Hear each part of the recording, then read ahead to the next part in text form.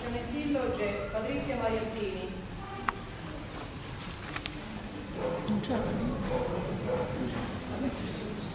Leggiamo solo la motivazione. Colpisce nella poesia di Patrizia l'apparente semplicità, nella descrizione latente della vita, una descrizione che in realtà appare meravigliosamente ricca di sfumature proprio nei suoi versi. In questo consta la sua capacità educativa, nella quale la natura oggettiva è colmare il vuoto di un'anima alla continua ricerca del volere vivere consapevolmente. La poetessa si mantiene sempre viva e concreta, mentre attorno sogni ed incubi ruotano in vortici persistenti, mentre si allontanano e ritornano e ancora si allontanano.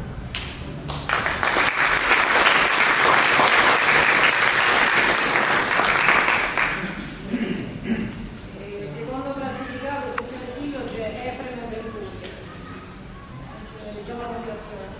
In questi straordinari versi, l'essere umano viene definito come la sintesi di una sofferenza estrema, quindi l'appiglio a cui aggrapparsi per una salvezza. Di certo capita talvolta che l'uomo è come un granello di sabbia che tende a sparire in dimensioni temporali astratte, quindi si ha talvolta l'impressione di perdere i riferimenti. La poesia di Efrem è dunque tutto questo, la forza di volontà, la voglia di vincere, la partita complessa della vita, cercando rifugio nel sentimento e nell'uomo come intima capacità di ritrovarsi. Tutta la silloge appare un teatro del concreto.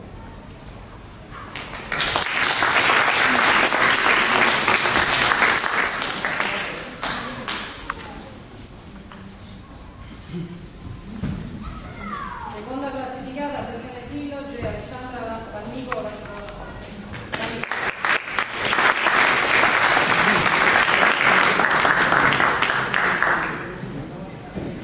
Una poesia naturale, spontanea, incredibilmente cristallina, quella di Vannicola, autrice capace di creare metrica, sintassi e musicalità, in liriche che da sole sortiscono dal foglio, senza l'asfissia di uno studio premeditato.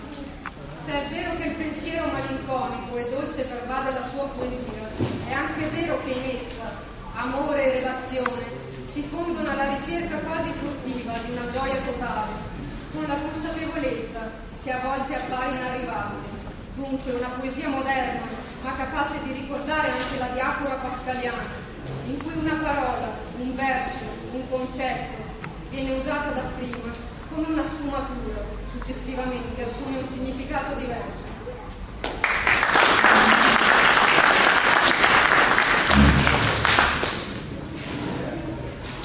Altrove.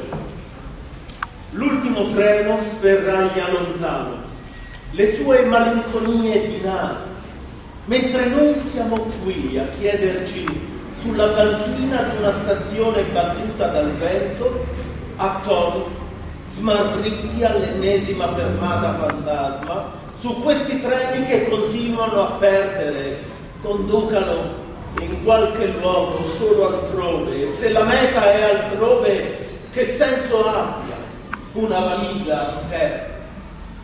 Forse per l'altrove bastano solo due occhi e una penna per tracciare quei sentieri di pioggia e carta che ancora non ho scritto. E se continuo a lasciar scorrere treni e pensieri, significa che ho ancora occhi per vederli? Ma ho perduto il cuore per afferrarli? Se andiamo in qualche luogo, il senso è scritto nella meta. Se partiamo per l'altrove, la meta è il viaggio. E il senso del viaggio è abbandonare valigie e stazioni, aprire il cuore alla polvere della strada e camminare, camminare, camminare, finché nel pozzo scuro che ci portiamo dentro non si riflettono le stelle e gli occhi che ancora non sappiamo.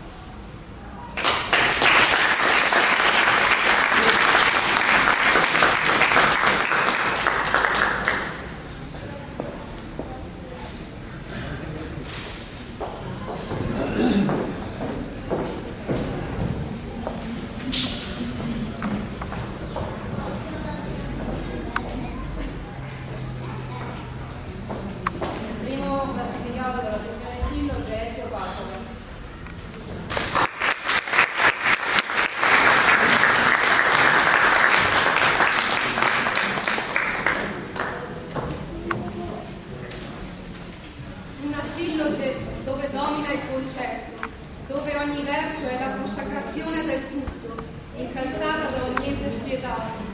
L'astratto esiste come una consapevolezza del pragmatismo, della inutile corsa verso l'impatto tra il logico e l'inutile. Appare quasi spiazzato Ezio di fronte a tutti che ci sovrastano, ma ecco che l'autore riesce a trovare quelle chiavi filosofiche che rendono chiara la luce dietro le nebbie che riversano in strati filiformi.